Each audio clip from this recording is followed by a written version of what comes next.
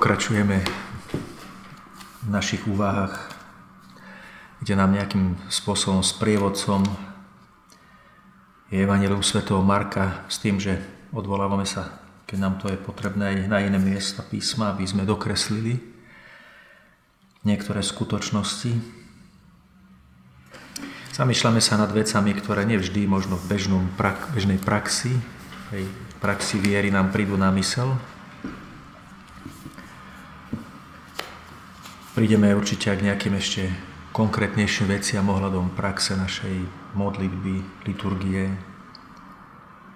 uctievania, ale zatiaľ sa stále nejakým spôsobom zoznamujeme s tým tajomstvom Evangelia, ktoré hlasal Ježiš, kde hneď na začiatku Marek začína veľmi akoby tak zostra konkrétne o tom, že Pán Ježiš verejne vystúpil a začal volať ľudí k pokániu a ohlasoval, že sa priblížilo Božie kráľovstvo.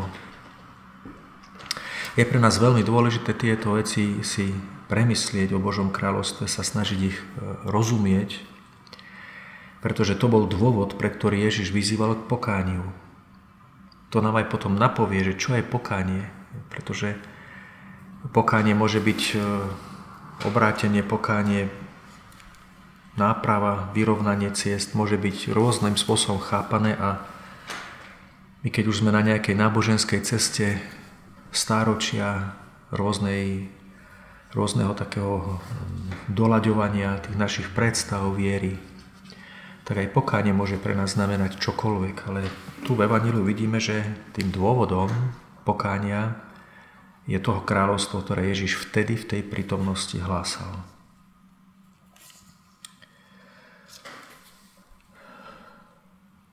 Myslím si, že veľa ľudí, ktorí,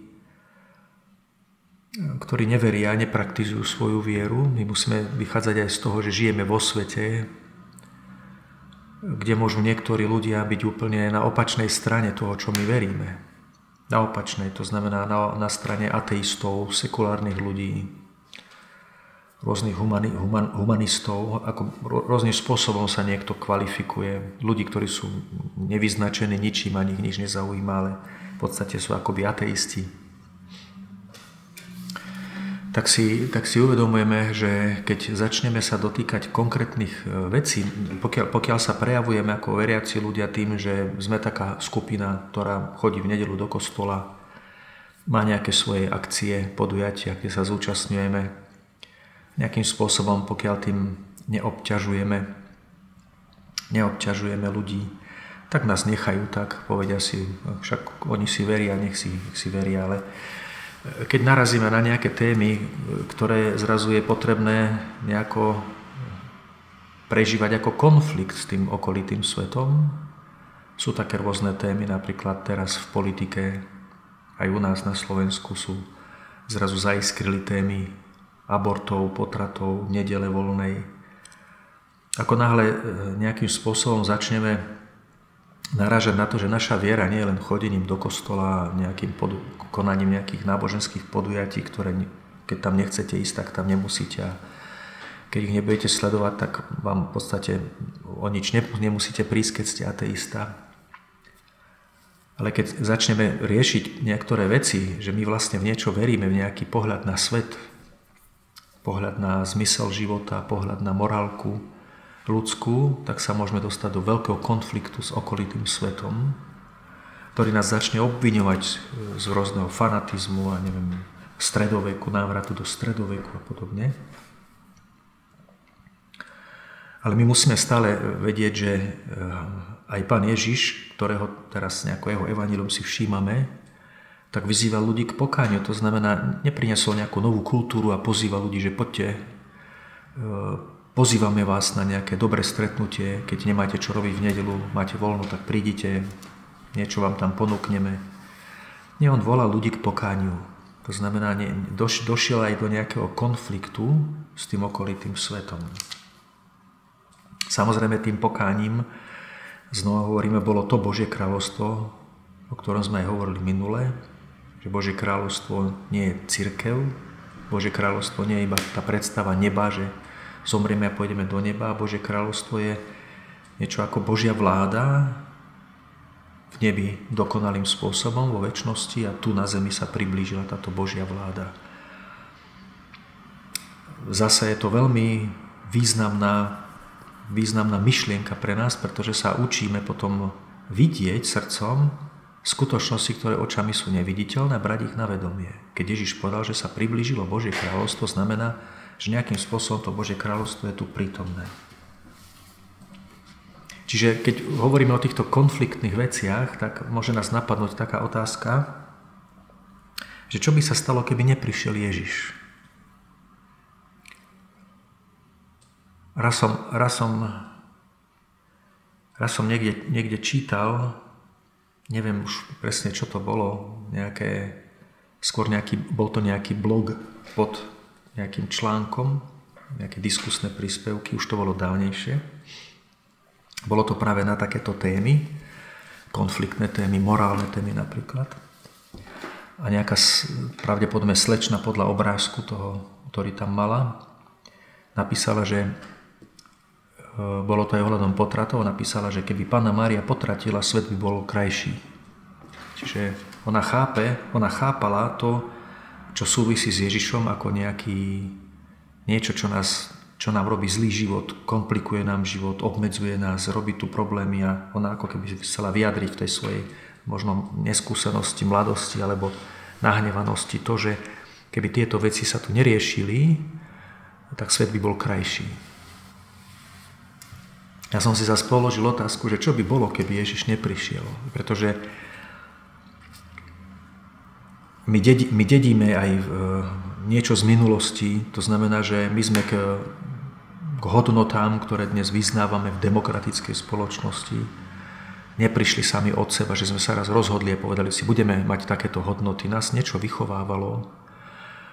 A keby sme sa tým zaoberali dlhšie do minulosti, pravdepodobne by sme prišli na to, že nás vychovávalo aj evanelium. To znamená, že e, církev a evanelium, viera v Ježiša Krista nás ne, nevovádza len do predstav, že sme v stredoveku a že bude tu inkvizícia, ale boli to aj veci, ktoré vlastne ľudí posúvali v láske k ľuďom, tolerancii vzájomnej dopredu, aj keď niektorí to nepripustia, ale keby sme to skúmali do histórie, určite by sme na toto narazili. Čiže keby neprišiel Ježiš, určite by dejiny vyzerali inak. Pravdepodobne vzťah k ľuďom, napríklad otrokom, proste toto presadzovanie sa na úkor iného bez ohľadu na jeho potreby, možno, že by vôbec neprišlo na, na rad, nikto by nemal nejaké oprávnenie, dôvod ani motiváciu to riešiť. Druhá vec je, ma tak napadlo, že keby neprišiel Ježiš, tak vlastne čo by nám zostalo, o čom by sme rozprávali ako o nejakom východisku, o nejakej nádeji, napríklad na zmysel života človeka tu na Zemi.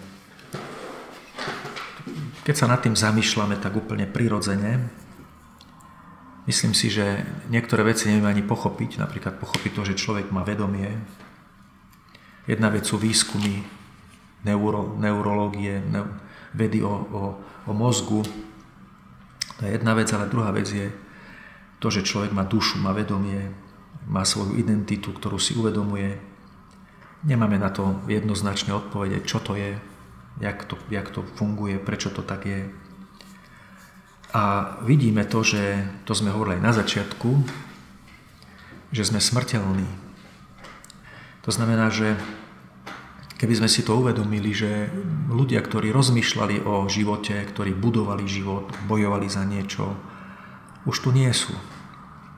Ak niekde nie sú, ak nie sú niekde, čo ateista predpokladá, že nie sú, tak aký zmysel malo to, čo robili? No, malo to zmysel pre nás, no lebo my na to teraz pozeráme, ale z ich pohľadu, aký to má zmysel, keď už nie sú. Lebo keď nie ste, to je ako keby bolo nič. A keď niekto žije, ale potom už nie je, lebo zomrie, tak ako keby nikdy nebol z jeho pohľadu. Možno z nášho pohľadu, keď pozeráme na neho, že áno, bol a teraz tu není, ale z jeho pohľadu ako keby nikdy neexistoval. Čiže keby neprišiel Ježiš napríklad, tak sa neviem, zostarneme, prídeme do situácie, keď nás to upúta na lôžko, nejaká choroba, spôsobená vekom.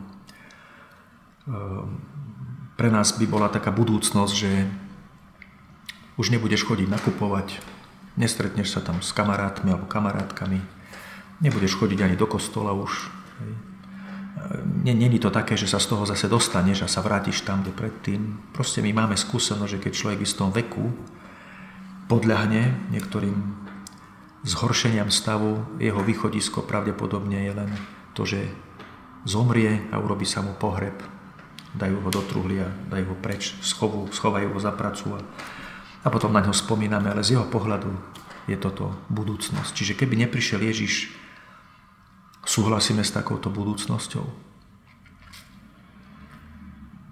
Raz, bolo to dávnejšie, som sa sporil s jedným, jedným ateistom a sa veľmi tak hneval, rozčuloval sa, bol to starší človek, nad tými názormi nadával na všetko, čo predstavuje naša viera a mal pocit, že ho asi nejako chcem ovplyvniť alebo obmedziť, teda tým, že mu nejako to vnúcujem. Tak som nakoniec rezignoval a som povedal, že v podstate vy ste šťastný človek. Jak to myslíte? Lebo nebol šťastný, bol už starý, mal problémy. Hovorím, jak to myslíte? Hovorím, no v podstate, ak Boh neexistuje a vy ste len hmota, ktorá myslí, tak v podstate nemáte mať žiadny problém s tým. Nevybrali ste si to, že ste hmota že ste tu, je to len náhoda. A keďže ste tu len náhodou, tak by vám nemalo vadiť, že tu náhodou zase nebudete. A videl som na ňom, že takéto vysvetlenie ho neuspokojilo. Čiže ani, niekedy ani ateista nemá úplne skrytú nejakú ateistickú predstavu v sebe, takejto ničotnosti, ale vždy ako keby niečo očakáva, že bude v jeho myšlienkách, aspoň nejakú predstavách. Myslí na nejakú budúcnosť, ktorá tu bude, keď on tu nebude. Niekto si vyberá miesto, kde chce mať hrob, niekto si vyberá to, že kto by ho mal pochovať. Hej. Ako keby človek sa uspokojoval tým, že myslí na niečo, čo tu bude, keď on tu nebude. Ale keď tu nebude, v podstate už nie čo riešiť. Čiže toto je taká predstava, keby neprišiel Ježiš. Nemali by sme sa takého niečoho, čoho chytiť. Čo by sme dumali, že filozoficky iba, že čo nás presahuje, je za tým niečo. My máme presné zjavenie, stáročné alebo tisícročné, tisíceročné, ktoré nám odkrýva cieľ nášho života, zmysel nášho života a odkrýva nám to, že mimo tento náš pozemský život existuje život, ktorý nazývame väč- väčší život. A že keď odchádzame z tohto sveta, nejdeme do nejakej ničotnosti, ale do nejakého východiska. Dokonca kresťanská viera hovorí, že do naplnenia zmyslu svojho života. Čiže to je taká otázka len, ktorá by sa dala rozvíjať, že keby neprišiel Ježiš. Keby neprišiel Ježiš, ako by vyzeralo židovské náboženstvo. To vidíme na tých konfliktoch, ktoré Ježiš mal so Židmi. Niekedy tie konflikty, tie debaty vyzerali, ako keby im stačilo to, že majú náboženstvo o pravom Bohu, ale ako keby nerozmýšľali, čo bude potom. Aký to má všetko zmysel. Taký sme aj my niekedy, aj veriaci, že Máme strašne veľa starostí ohľadom nášho života v cirkvi, máme veľa starostí ohľadom našich nejakých organizačných vecí, máme veľa nejakých, sme zaťažení a niekedy aj s takým pozitívnym spôsobom zaťažení tým, čo robíme v cirkvi, aké aktivity. Ale to všetko pominie a zostane zase len to, že čo, čo, čo je to najpodstatnejšie pre nás. Čiže predpokladám, že Pán Ježiš nehlásal kultúru náboženskú. To znamená, vôbec sa asi nezaoberal nejakými spôsobmi, ako sa má tá viera prežívať, nejakými spôsobmi, ako tá štruktúra bude fungovať alebo podobne. Jednoducho hlásal to podstatné a zdá sa, že to podstatné súvisí s osobou, osobou, ktorá, ktorá vlastne spôsobuje príchod toho kráľovstva. Tou osobou je on sám.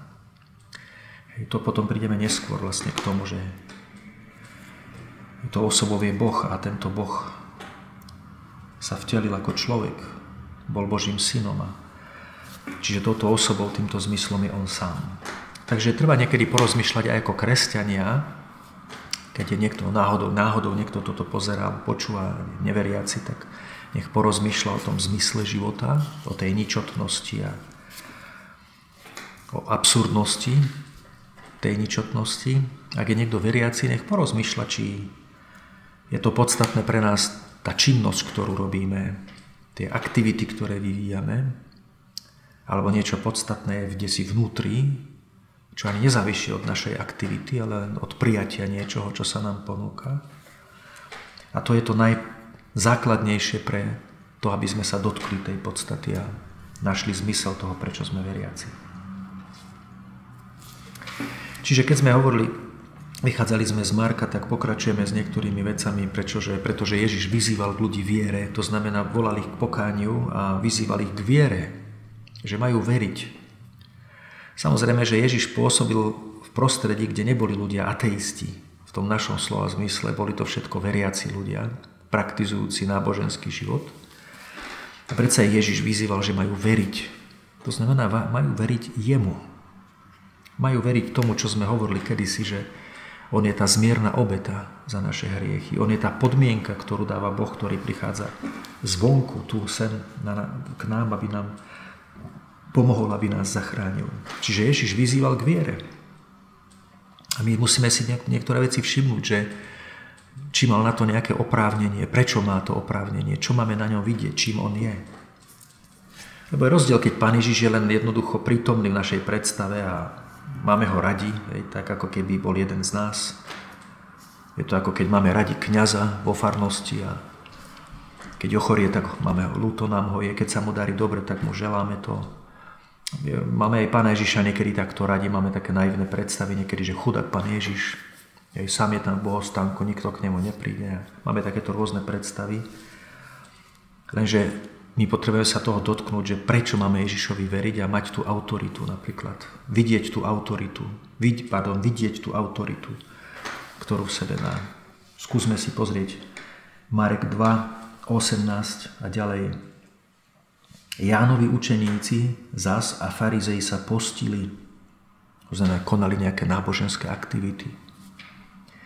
Prišli teda k Ježišovi a povedali mu, prečo sa učeníci Jánovi a učeníci farizejov postia, ale tvoji učeníci sa nepostia.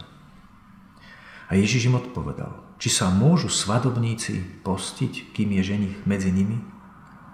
Kým majú ženicha pri sebe, zatiaľ sa nemôžu postiť. Prídu však dni, keď im ženicha vezmú a potom v tých dňoch sa budú postiť. A potom ešte hovorí, že nikto neprišíva záplatu z nového sukna na starý odev a tak ďalej, čo je tiež veľmi podstatné. Ježiš zrazu ako keby ukázal, že on je cieľom toho, tej náboženskej aktivity. Alebo zmyslom tej náboženskej aktivity.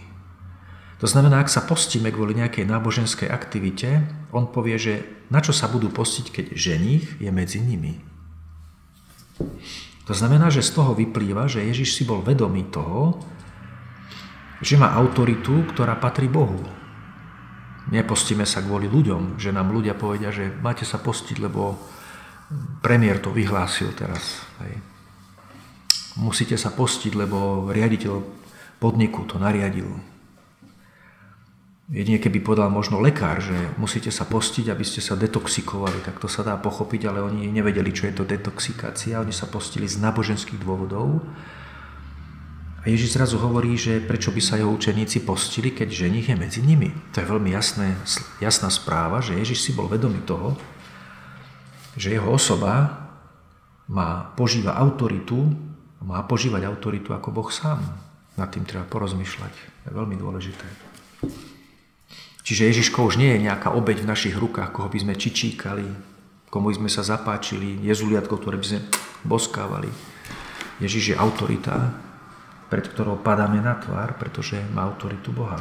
Toto Ježiš sebe nárokuje. Preto to je taký príklad toho, že prečo Ježiš mal vo svojej vlastnej predstave oprávnenie, že ľudia majú v Neho veriť. Potom zase v Markovi 2 pokračujeme 23. V istú sobotu išiel siatinami a jeho učeníci idúcky začali trhať klasy to robievali ľudia, jedli pšenicu, vymrvali obilie a jedli pšenicu. Ľudia nemali také služby rozvinuté ako dnes. Dáte si niekde posluch alebo hamburger alebo podobne. Vymrvali klasy po dlhej ceste a prežúvali to po ceste a tým sa sítili. To, bolo, to bola bežná prax, robili to aj rímske légie počas pochodu. Tomu farizei povedali, hľa, prečo robia v sobotu, čo sa nesmie? I odpovedali im, nikdy ste nečítali, čo robil Dávid, keď trpel núdzu a bol hladný on sám, jeho družina? Ako za veľkňaza Abiatara vošiel do domu Božieho a jedol z predkladaných chlebov, to znamená z obetných chlebov, z ktorých iba kňazom bolo dovolené jesť, a ako dal aj svojim druhom? Riekol im, sobota bola ustanovená pre človeka a nie človek pre sobotu. A tak je syn človeka pánom aj soboty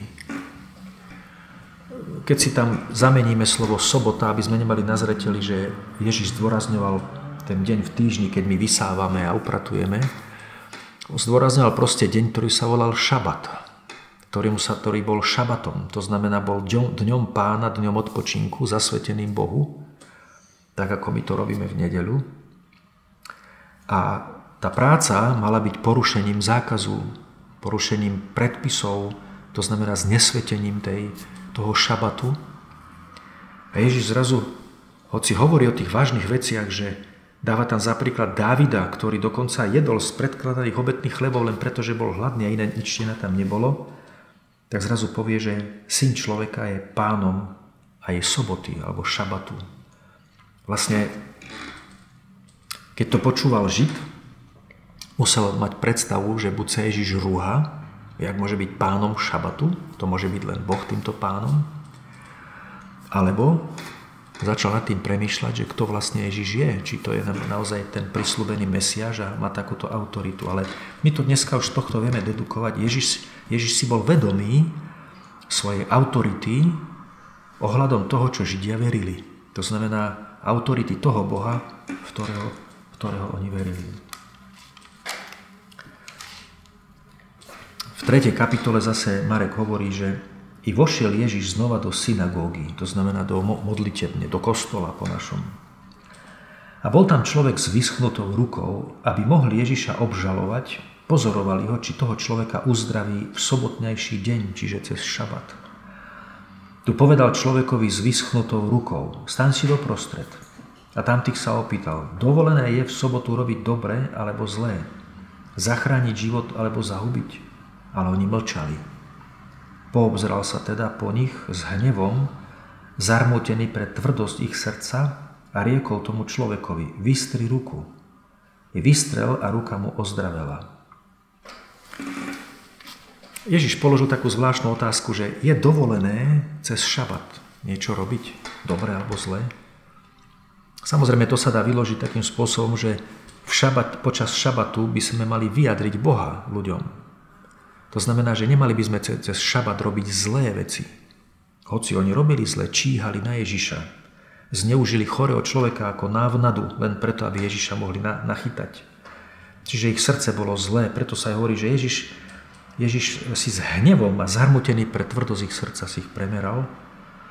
A na druhej strane sa to dá tak chápať, že keď Ježiš toho človeka uzdravil bez toho, že by sa ho dotkol, tak ako by povedal, že vidíte, čo syn človeka má dovolené robiť cez šabat?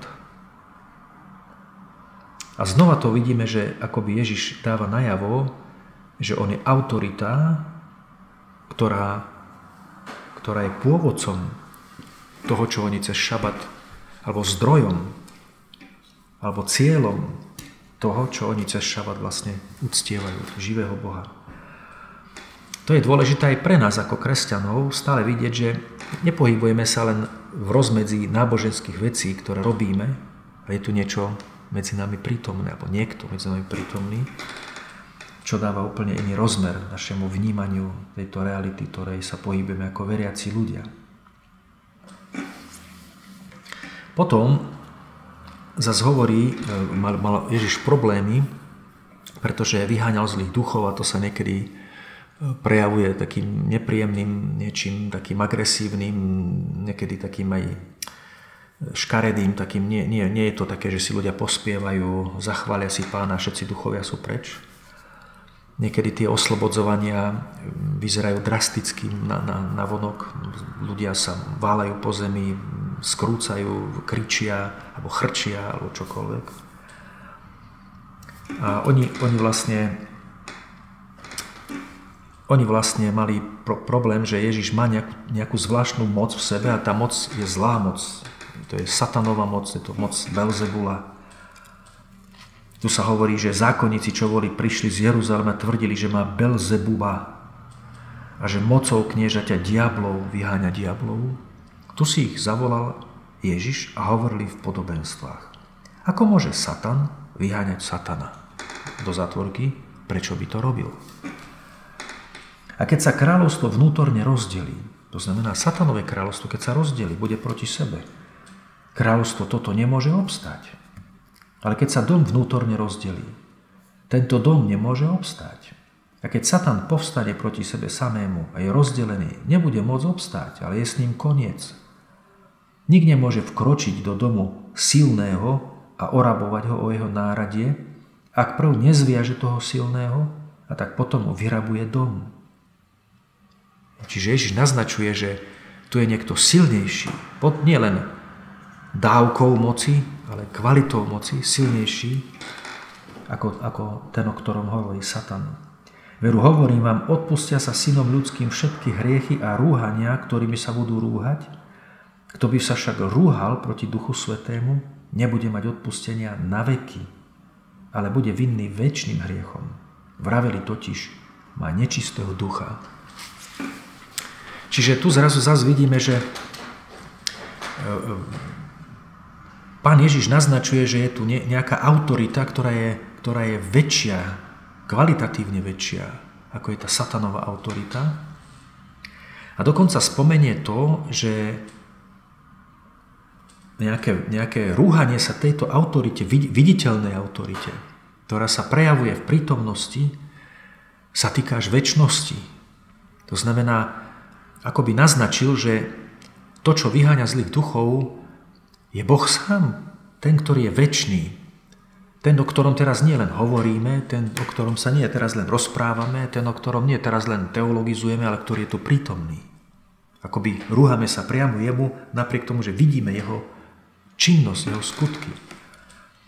Čiže Ježiš zrazu zase ukazuje, že s jeho osobou súvisí to, že je tu prítomné Božie kráľovstvo práve tým, ktorého nazýva, že je tu Duch Svetý, ktorý je v akcii, to znamená, Ježiš má túto autoritu Božieho kráľovstva a preto ľudí vyzýva k viere. Ako by povedal, ja mám v sebe zdroj, ja mám v sebe autoritu, ktorú nikto z ľudí nemá. A preto musíte veriť mne, ako keby povedal, že ja som jediný, kto vás môže zachrániť z toho, čo sa nazýva smrť, z toho, čo sa nazýva hriech, z toho, čo sa nazýva vina. Takže toto, toto sú také e, Markovi, také miesta, Takých je viacej, budeme zase na budúce tiež sa niektorými zaoberať vecami, ktoré nám práve ukazujú, že prečo máme Ježišovi veriť. Prečo to hovorím? Pretože keď sa modlíme a čítame Božie slovo a chceme napredovať vo svojej viere, musíme nechať do srdca vrásť, vstúpiť tú predstavu a tú vieru, kým Ježiš je.